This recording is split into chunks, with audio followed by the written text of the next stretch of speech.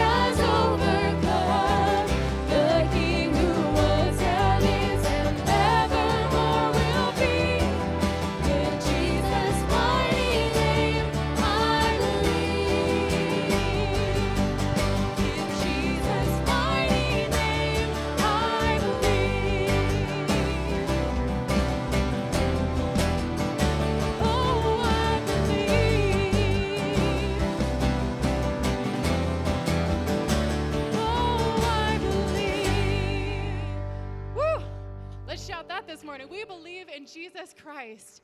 And if we confess our sins, from 1 John, it says he is faithful and just to forgive us our sins and to cleanse us from all unrighteousness. Thank you, Lord. Thank you, Father, for your goodness.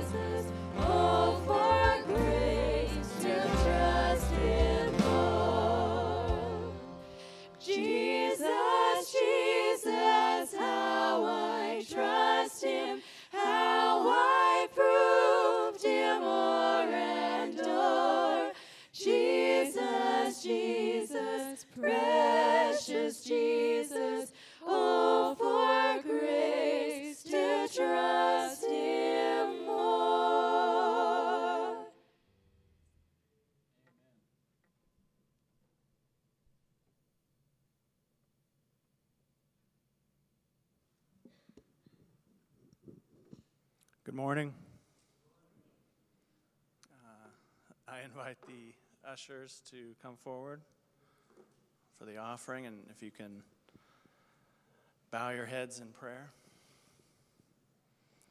Uh, Heavenly Father,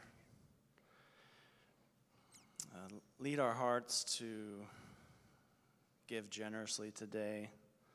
And Lord, we offer these gifts to you with thankful hearts and in joyous praise. As we give of our money and resources, we surrender our whole beings to you in worship and adoration.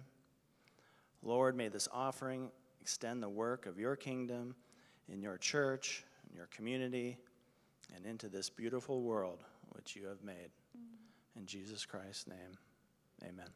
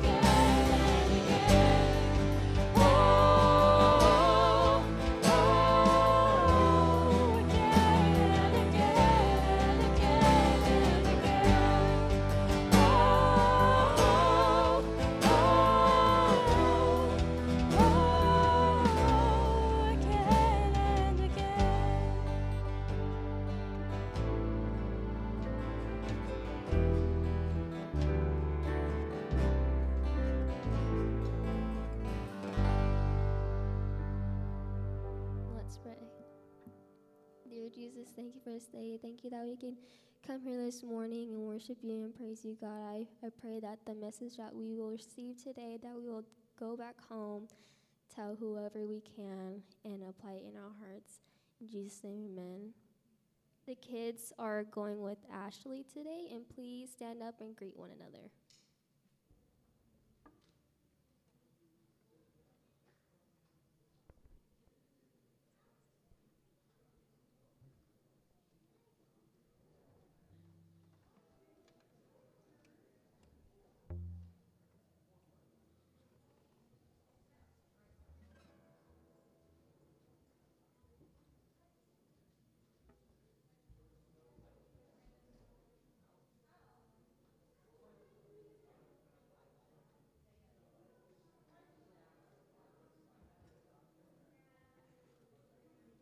Is seven a lot harder to operate than six or five, whatever we were on?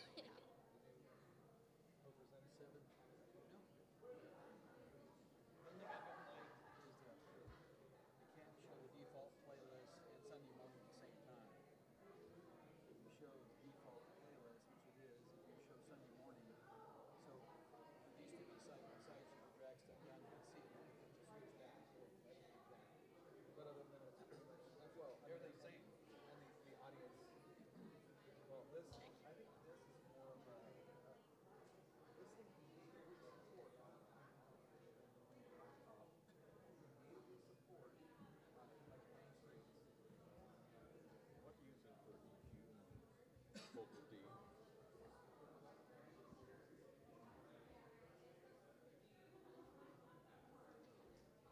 Because she sounds terrible. And you didn't have her, and you didn't have her volume up enough on that, on that, you didn't change her volume at all when she had the solo. Oops, Which one's B? D, who was on, That's, yeah, no, that wasn't, shouldn't be Bella. that was, that's, it? No, it should be, should be Cayenne. Cayenne. He sounds like the same mic, but it was, she was just flattered. It did you have the reverb on at all? No, it was on. It was on? I just, I just did it to the guitar. Yeah, good. But her EQ just doesn't sound, what, uh, what mixer you got?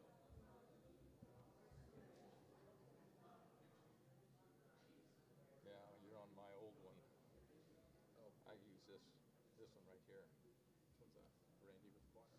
Oh, okay. That opens up the, the mic on the stage.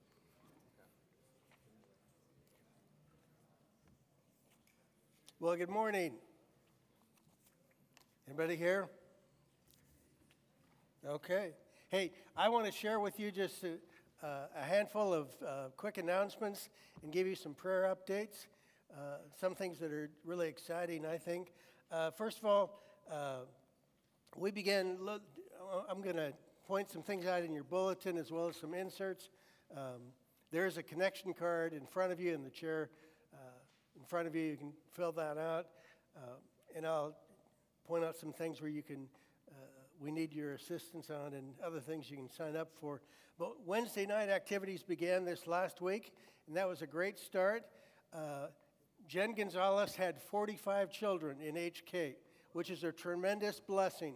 And with that tremendous blessing comes the opportunity to need more volunteers. So if any of you can help out in that regard, write that on your connection card. We will collect cards at the end of the service.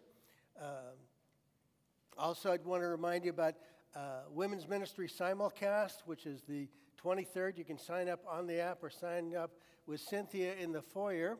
Uh, men's breakfast is resuming uh, Saturday, September 30th, with a, a new video series uh, uh, called uh, Comeback Boys of the Bible, Getting Up After You've Been Knocked Down.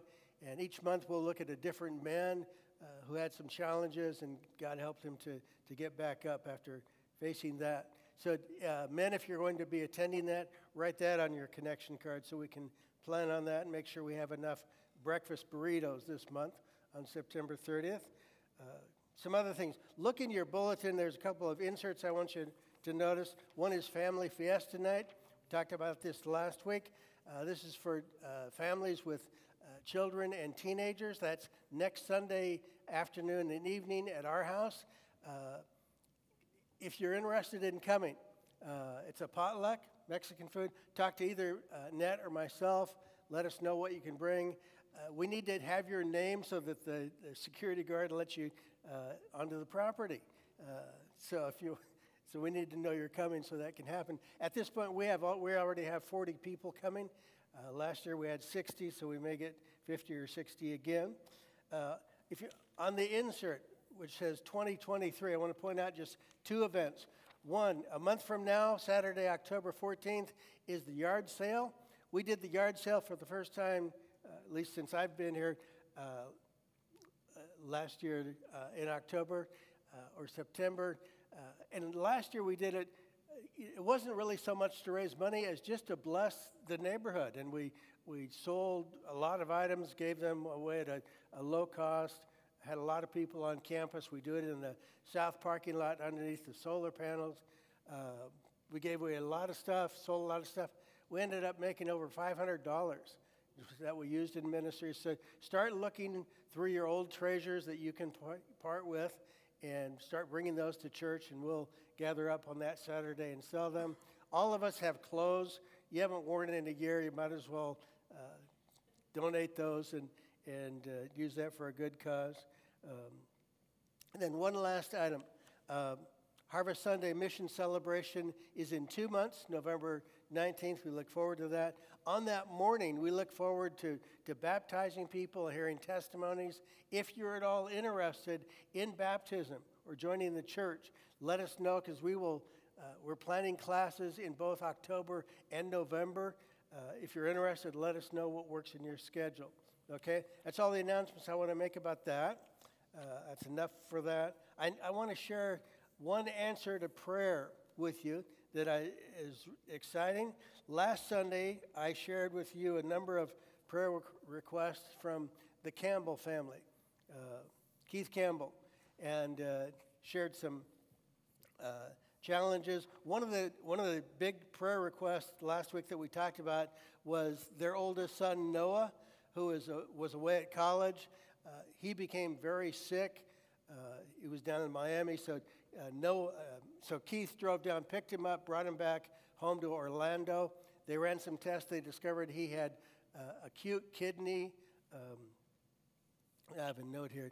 Uh, acute kidney uh, failure, and his kidney was only operating at 30 percent, uh, and so he was he was very sick, and and doctors did give a good prognosis and said there's a there is a good chance of him recovering, but it's going to take several months, and so he was ready to go back to school. Well, a week later, so we began praying. A week later, they took uh, another test, and uh, at when they when they uh, did that first test, his kidneys were only functioning at 30%. They did a second test. His kidneys are now functioning at 75%, which is closer to the normal range. And that in, in itself is, is a miracle. Uh, and so we just praise God for that. And so thank you for your prayers and for your interest in that.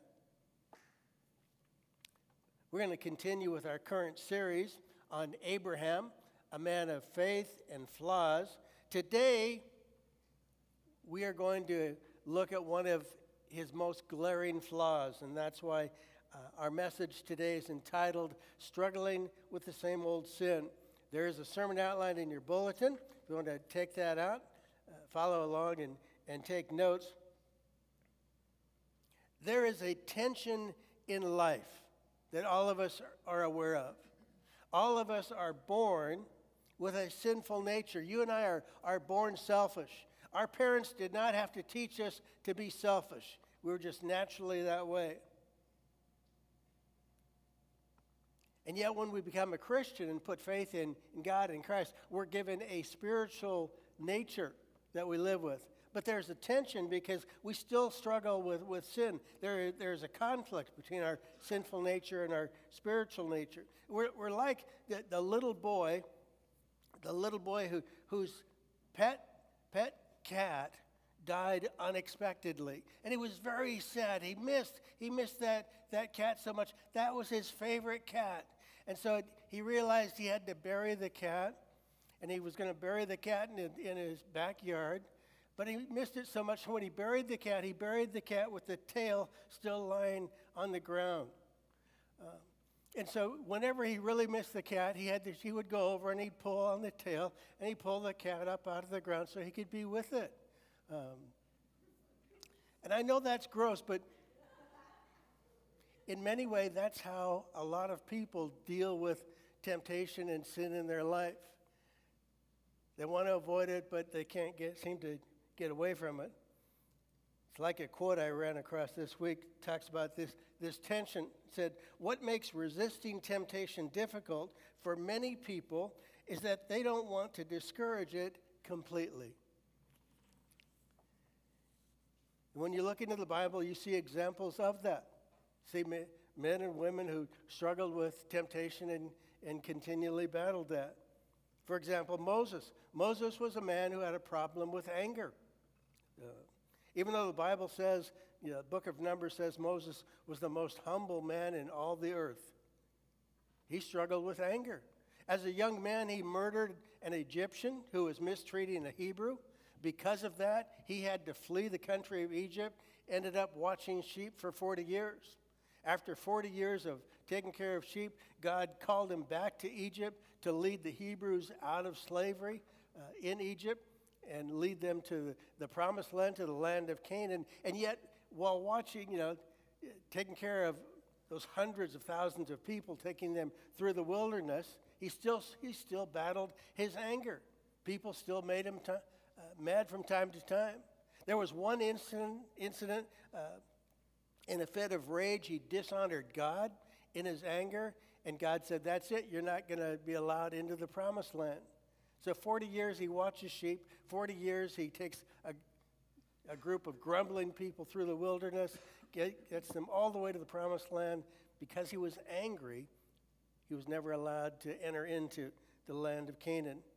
But that's one example. If you look at the life of Samson, Samson was called to be a judge for Israel at a time when Israel was being oppressed by the Philistines. Now, Samson was, was successful in leading Israel into battle and defeating the Philistines out on the battlefield, and yet Samson was a man who continually struggled with sexual temptation. That eventually led to his downfall. And then we come to the man who we've been studying the last few weeks. Abraham struggled with a constant temptation. He tended to lie whenever he was under pressure.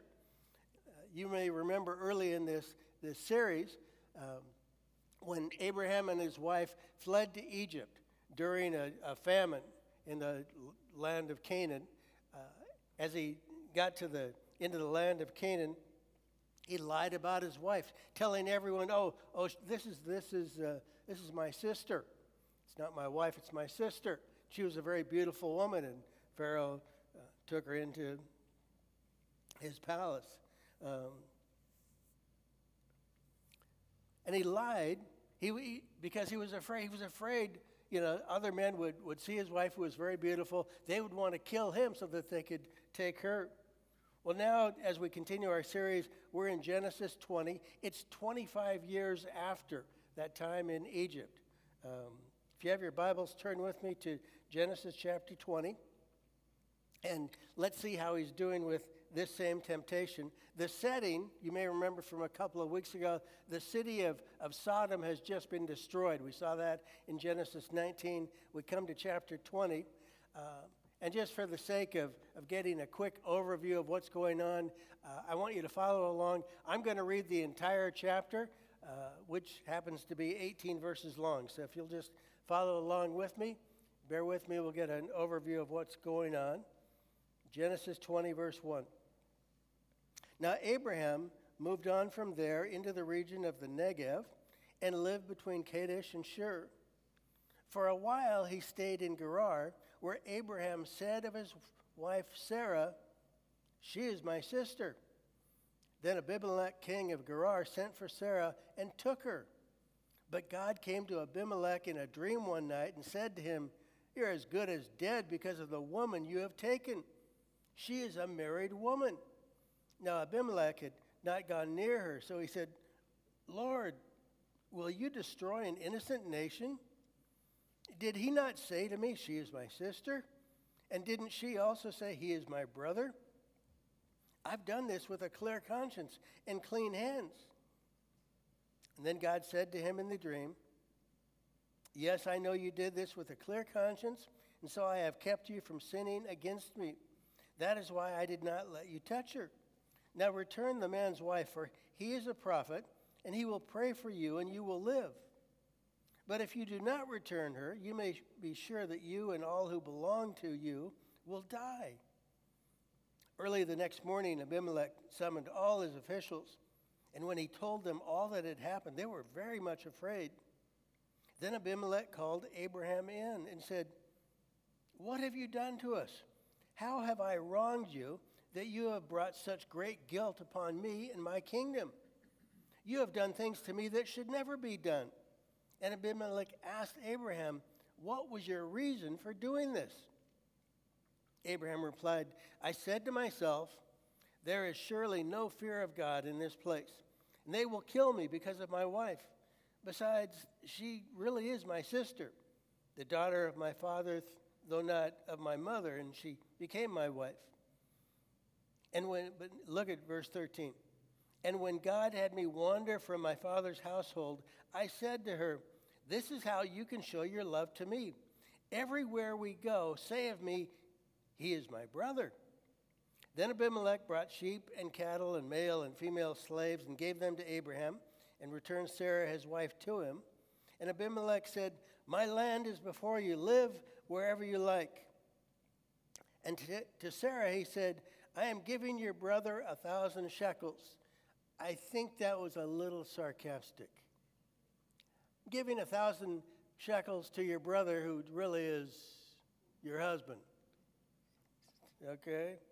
So I'm giving your brother a thousand shekels of silver. This is to cover the offense against you before all who are with you. You are completely vindicated. Then Abraham prayed to God, and God healed Abimelech, his wife, and his female, female slaves so they could have children again.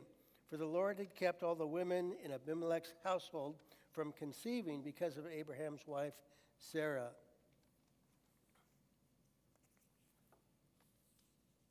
Let me just review a, a few points briefly here.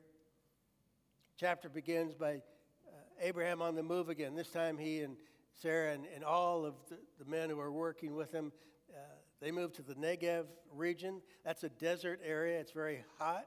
Water is scarce. Uh, he's got herds and flocks, and, and they're unable to probably sustain them. And so he moves again. This time he moves to a city named Gerar, which uh, is located in a fertile plain, so it's better for, for all of his herds and flocks and animals and things like that. Yet it's a city that is ru- ruled by Philistines. So he's in foreign country, afraid that these pagans were godless and, and immoral, uh, and they would probably kill him in order to take his wife. Uh, he tells everyone that, that uh, he is really, she is really his sister. And this isn't just an isolated incident. It isn't something that happened 25 years earlier in Egypt and, and now 25 years later uh, among the Philistines. Uh, and I had you notice verse 13. In verse 13, he admits to Abimelech when he's been found out uh, that he has made an agreement with his wife. Made an agreement with Sarah, and, he's convinced her, says, Listen, show, show your love to me by telling everyone that, that you're my sister and not my wife so I can keep safe. It was a deception. That deception was a way of life. And, and really took advantage of Sarah because basically Abraham looked at, at Sarah and said, Do you love me? Then you're going to lie for me. You know, it was totally selfish. Um, now, the amazing thing about this is that Sarah, Sarah's 90 years old at this point. Now, you have to understand people lived a lot longer. Abraham ended up living to be 175. So at this point, Sarah is, is 90. Uh, she's just an attractive middle aged woman. Uh, she probably lived to be, you know, uh, much older, okay? Um, but she's still, you know, Abraham is afraid. She's still attractive. He's, he's afraid he's going to get killed because of her beauty. And so, you know, together they, they decide to lie. Well, uh, as we saw in, in Egypt, Abimelech, king of the Philistines, saw her, decided to add her to his harem as one of his wives. And that night, God terrifies Abimelech in a dream and says, You're as good as dead. The woman you've taken, she's a married woman. Um, and the king, the king responds to God in this dream and says, He proclaims his innocence. And he said, Listen, both, both Abraham and both Sarah lied to me. Both of them told me that they were brother and sister. And God admits that the king's conscience was really clear. He wasn't guilty of really any sin, but tells him, Well, you need to return Sarah to her husband. He's a prophet. He's going to pray for you. It's interesting. This is the first time in Scripture that someone is declared a prophet. And ironically, it's a reference to Abraham who just lied. You know? Um, but we'll talk about that in a minute. So say, Sarah is returned to Abraham, who then prays for Abimelech, and, and God miraculously uh, helps uh, Abimele- Abimelech's wife and all their female slaves to, to conceive again. Now, I read this story. This story is filled with irony, okay? Like, We just need to admit that. Uh, in many ways, you read this story, and this, this pagan Philistine king, Abimelech, he's really more godly than Abraham is. Know, here's, here's a pagan king who listens to God in a dream and, and obeys him. And Abraham seems to do the, the opposite. You know, when Abraham was in Egypt and he, and he lied about Sarah at that time, you know, and Pharaoh took Sarah into you know, the, the palace, when the, when the truth came out, Pharaoh was so upset, he kicked Abraham out of the country, said, you know, we don't need you around here anymore, and, and kicked him out of the country. But here in Genesis 20, after Sarah is returned to Abraham, the king then lavishes all these gifts on Abraham, gives him animals and gives them servants and, and gives them silver. It's like Abraham is being rewarded. Tells him, hey, select any spot in the country where you want to live. You can do that. Um, now, Abraham does pray for Abimelech. God does a miracle, and God answers his prayer, miraculously heals them. When you look into the New Testament, the New Testament writers, especially in Hebrews, uh, exalts and lifts up Abraham as one of the heroes of faith for us. Um, and you still see A- Abraham truly was a man of faith and, and flaws. And this was one of his major flaws. I had an Old Testament professor in seminary. He would explain to us that God often blessed people in the Old Testament because of their faith and despite their morals. Now, having said that, that does not allow us to rationalize our sin today as long as we believe in God. So, uh, if I would give any advice, I'd say don't follow Abraham's example, okay? he, was, he was a man of faith and flaws. His flaw, you know, um, I think was, was uh, hurt his relationship and was a terrible testimony to those around us. Um, the other thing is, that's the Old Testament. That, that was a different time. There were different uh, values in, in some regards. Uh, it's different for us today. We, you and I have been given more truth. You and I have access to the, the power of the Holy Spirit in our lives. Many of them did not. We are part of the new covenant, the new agreement that we have with God because of what Jesus has done for us. So things, it, it's not the same. It's apples and oranges in some way. But the truth is, Abraham struggled with a habitual sin. And there's a lot of people today, even Christians, that still struggle with habitual sin in their life. The good news of the Bible is that you and I can live a victorious Christian life. But sadly, too many Christians, I think, live with spiritual distortions in their life that rob them, rob them of joy, and rob them of the power of God in their daily living. Um, that's what I want to talk about for the next few moments with you. Because I want to explain some of these distortions, and I want to uh, correct them with true biblical principles. I think you can probably relate to many of these. I think there, there are a lot of people who, there are a lot of Christians who cling to a misconception of the Christian life. Uh, some people have, have put their faith in Christ for all the benefits that God provides us, which are, which are true and they are good. God provides us with, with forgiveness of sins, He gives us meaning in life, He gives us the gift of eternal life. Um, and those are all good. But if people think that the Christian life is experiencing one blessing after another, and that the goal of faith is to ride off into the sunset and live happily ever after. They're going to be mistaken. Um, because when problems come in our life, and they do, you know, one problem people struggle with is they still struggle with sin. They still struggle with guilt in their life. Uh, they discover willpower is not enough. Willpower is not enough to live a strong Christian life. And so, a lot of people who have not maybe been taught uh, all the, the truth that Scripture teaches, they look at their life and they, they decide, well, my faith must just be weak, you know, and so they end up living in despair. I think there's a lot of frustrated believers, frustrated in their attempt to live a Christian life because they're living it in their own power and their own willpower. They wonder why it's not working. Now, the truth is, many of us, myself included, many of us came to faith in Christ because of God's love, His mercy, His gifts to us, His benefits that I talked about His grace, His forgiveness, you know, meaning and purpose and, and life eternal. Um, And while many of us may have come to faith because of those benefits, if you look into the Bible, the Bible pictures the Christian life as a spiritual battle. Um, now, victory is possible if you learn about the armor and the ammunition that God provides every one of us. Okay? That's how victory is achieved. I'm going to come back to that in a moment.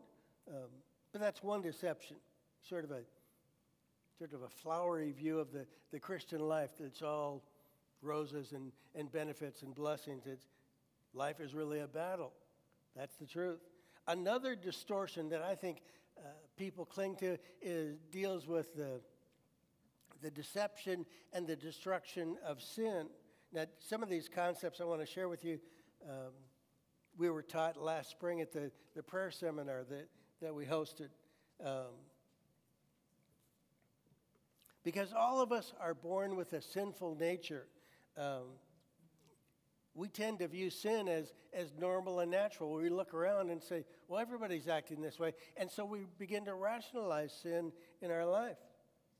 But all, all sin has to do with power and control. Have you ever thought about that? All sin has to do with power and control. And when you don't have any power or control, then you're a slave. The Bible says that we are either a slave to sin or a slave to God. The other reality with sin is that sin always breaks relationship. It breaks relationship with God, it breaks relationship with other people. And you and I will continue to pay a price for our sins until we're forgiven by God, until we're forgiven by people. Therefore, we need confession and, and forgiveness and repentance in our life. But there's people have cling to distortions uh, about that as well. Let me explain. Confession, confession is not just remembering every wrong that you have done and then reciting all of them back to God. That's really not what confession is. Uh, the other thing that uh, is sometimes confusing confession alone is not enough to live a strong Christian life. Have you realized that? I've met people who have confessed their ongoing sin for the 50th time and nothing is changing. Because confession alone does not make you a strong Christian. Admitting you have a problem doesn't mean you've changed that problem. You've just admitted that it's there. You need more than confession. See, People have a misunderstanding of confession. The, the Greek word for confession literally means to say the same thing. What does that mean? So, confession literally means to say the same thing about our sin that God says about our sin. What does God say about our sin? Sin grieves God. That's what he thinks about. That's what, that's what he says about our sin. That's why he sent his son to, to die on the cross for our sin and pay the, the penalty and punishment for that. Okay? Um, are you enjoying the scenery? Yeah. Okay. I'm enjoying it too on the back screen, you know. Where was it? Confession. Okay, I knew I. Good thing I have notes here. Confession is saying the same thing that God says. Sin grieves God, and He, you know, when people confess their sins, He's hoping that that will motivate them to, in their, in their confession, to want to then make a change in their life. And so that leads to the next important step, the step of, of repentance. Okay? Those familiar with the Bible, you'll remember that on the day of Pentecost, Acts chapter 2, God poured out the Holy Spirit into the lives of, of 120 believers. It, it made a drastic difference in their life. People noticed the difference. Huge crowd gathered, thousands of people gathered. Peter saw that as a chance to try to explain what had happened. And so he said, Listen, what you've seen is a fulfillment of promises in the Old Testament. He ends up then preaching about Jesus, Jesus' life, his death, his resurrection. People listened to, to, to, Peter's sermon and they, they respond. They say, Peter, what shall we do? And Peter looks at this crowd of thousands and says, Repent and be baptized for the forgiveness of your sins. And 3,000 people were baptized that one day. 3,000 people chose to repent and believe, be baptized, and be forgiven of their sins, become part of the family of God. The word repent is an army term. You'd understand this. I've mentioned this. Repent literally means about face. It means you're going one direction, you stop, you turn around, you go the other way. That's what repent really means. That's what in the army, that's what, what about face means. Okay? That's what God calls us to do. Repentance is not just feeling sorry for your sin. That's another misconception. Repentance is not just feeling sorry for your sin. Re- true repentance is feeling sorry enough for your sin that you make a change in your life.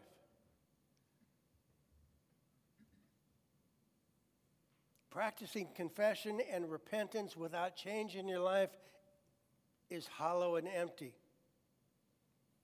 I heard one author say it's like the kamikaze pilot who went on his 20th mission.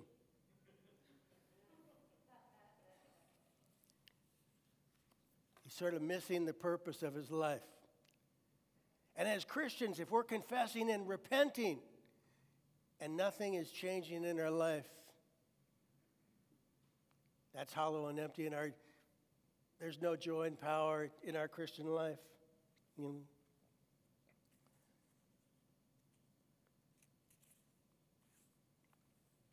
Moments ago, I, I said that the, the Christian life is really a spiritual battle. And that's how we need to view our Christian life today. The, truth is, there is a spiritual enemy that we, we battle every day. Jesus refers to him as the, the devil and says that the devil exists to steal, kill, and destroy your spiritual life. Said that in John 10. So every day when you wake up, there's an enemy committed to your destruction. That is his goal in life for you. Peter echoed the same idea in his letter when he said, Your enemy, the devil, prowls around like a roaring lion looking for someone to devour. Paul told the Ephesians that our battle is, is against spiritual forces of evil. So, how do we fight against them? Our battle really isn't against flesh and blood. Well, in Ephesians 6, Paul explains that God supplies every one of us with his armor that we can withstand attacks from devil and his spiritual forces. That armor includes God's truth, salvation, righteousness, peace, faith, and he gives us one weapon the sword of the Spirit, the Word of God. And when you learn to use the Word of God, James says, when you claim the authority of God's Word, that will force Satan to flee from your life. But a lot of Christians never realize that's the power and authority you have based on the Word of God. You can command evil demonic spirits in the name of Jesus by the power of His blood shed on the cross based on the Word of God. That's your sword of the Spirit. That's how we can be victorious. When you look at the, the armor of God in Ephesians 6, you and I put on every piece of armor by prayer. Because that whole section concludes with three straight verses just talking about prayer. Prayer is how you and I put on that armor. But here, listen, here's the key to victory in your Christian life. It's found in Philippians 2 where Paul wrote and said, It is God who works in you to will and to act in order to fulfill his good purpose. You need to sear that into your mind. It is God. It is God who works in you to will to think and to act in ways that honor him, to fulfill his purpose. Okay? Here's what I'm really trying to say here is the picture of the Christian life that you need to have in your mind every day when you wake up. Every day when you wake up as a Christian, tomorrow and the rest of your life, you need to wake up and when you get out of bed, realize you are going to war. Every day when you get up, you are going to war because there is an enemy that you're going to face. You, you've just had a night's rest and you've just woken up from sleep. He has not slept. He's been making plans to steal, kill, and destroy you. There's a battle he has plans for you. Engaging in war is a matter of life and death. It, here's the biggest thing remember this. You and I are going to battle every day. You, guys, you and I are going to war, and it's a battle you can't win.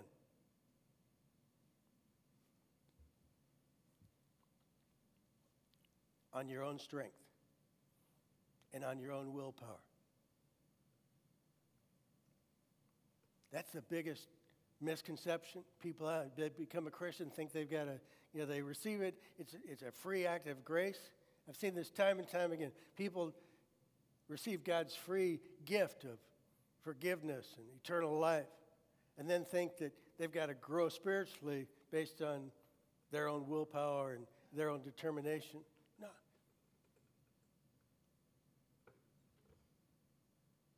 Being a Christian is, is humbling because it, being a true Christian means you recognize you can't do it on your own. But God is willing to provide everything you need to be victorious. That's the great news of the, of the, the scripture. So it's a battle you can't win on your own strength, your own willpower. But you have to access God's armor by prayer.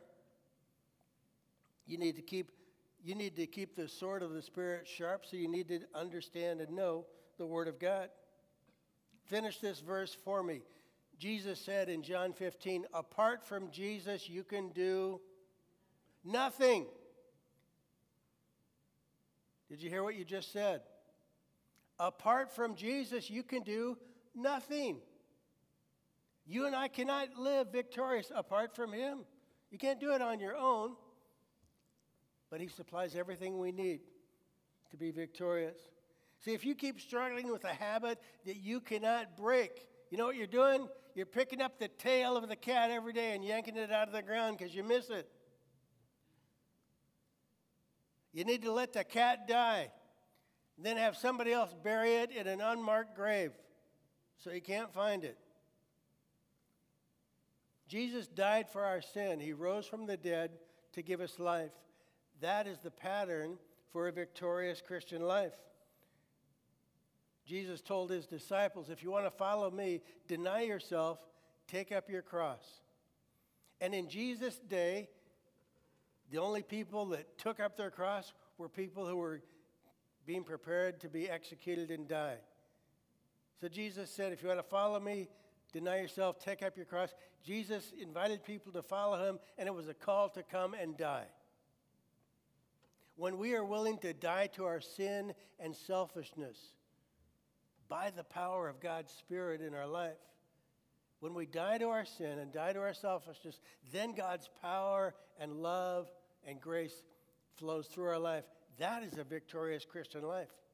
But it requires death so that life can come out of that. And remember the key to victor- victory it is God who works in you to will and to act. But you have to rely on Him. You have to allow God to will and act in and through your life. At staff meeting this week, we were looking you know, at the order of service and the songs that had been selected. And, and I looked at all of the songs and, and I turned to Elise. I said, Can we change the last song? I said, I told her what I was preaching on and, and talking about, you know, this is a battle uh, that we can't win. We need God's armor and, and ammunition. And uh, she said, sure. And, and I suggested uh, a song that they're going to sing in just a moment. So, worship team, uh, make your way up on here. Because I've asked them if they would lead us in a closing song entitled The Battle Belongs to the Lord. And that's what the, the key is. And, they, and Elise said, absolutely. And Roger broke out, broke out in a song and started singing Onward Christian Soldiers. So the, the staff was getting all excited about this, you know. Um, so here, here, let me make a few comments before I have it close a, in a word of prayer. Some of you need a, a new picture of the Christian life in your mind. It isn't just sitting in these chairs on Sunday morning and hope that's going to give you enough spiritual energy until you come here next Sunday. Now, you need a different picture of the Christian life. You need to realize when you wake up tomorrow, you're going to war. There is a battle out there because there's an enemy we face. The good news is God provides everything you need to be victorious. God, God knows you're going to battle. His God's will for you is that you live a victorious life, that you're not a slave to sin. He provides everything you can to experience that victory. That's what He wants for you.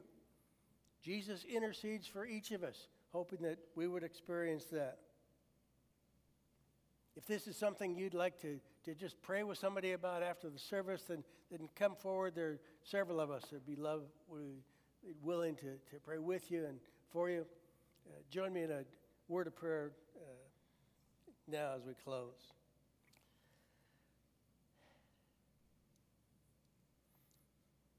God, as we look at, at the life of Abraham, there were times where he was a man of great faith, man of great flaws. And in many ways, that describes every one of us. At times, you allow us to exercise faith. Sometimes we really struggle with flaws. Some of us really struggle with ongoing sin. But God, thank you that that's not your desire for us. You, you provide us with armor, with ammunition, that if we just access that and rely on your strength, we can live that victorious life. But it's you. The good news is that it, it's God who works in each one of us to will and to act so that you would be glorified. Thank you for that in Christ's name. Amen. You can go ahead and, and stand for a final song. You can go ahead and, and pass your connection cards to the aisle. If you filled any of those out, Jeff will come pick those up. Let's sing together.